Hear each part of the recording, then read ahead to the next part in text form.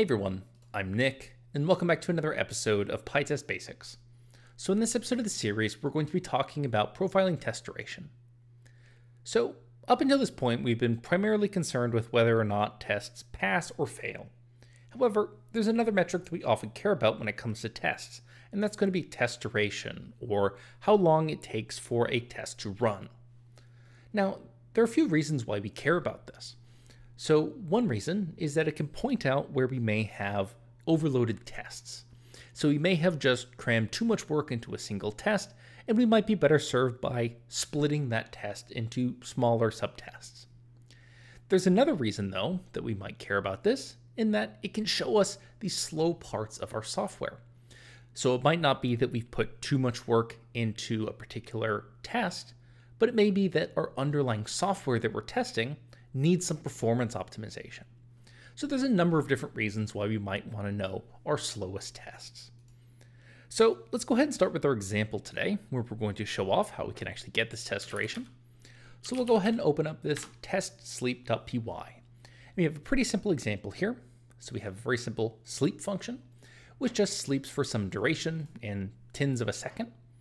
And then we have our test for our sleep function called test sleep. Now we've parameterized this test um, over range 10 values.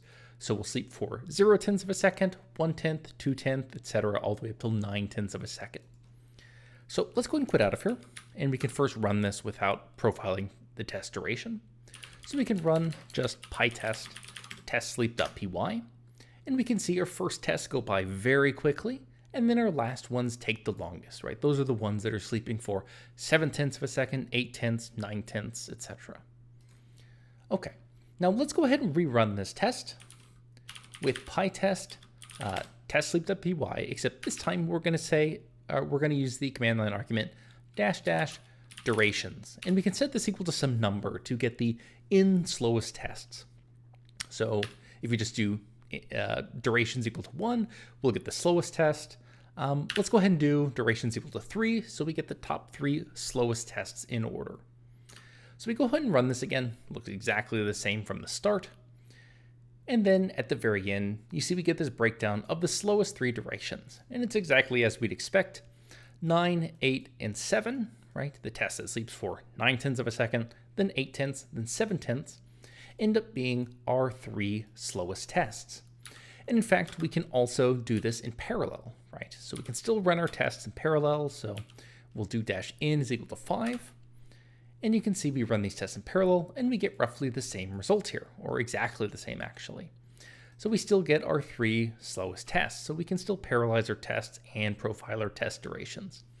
The one caveat, of course, is that parallelizing your tests may affect your test durations because tests are going to start competing for resources. But this is a very important thing to be able to see to show off where we might have unbalanced tests or where our software is particularly slow.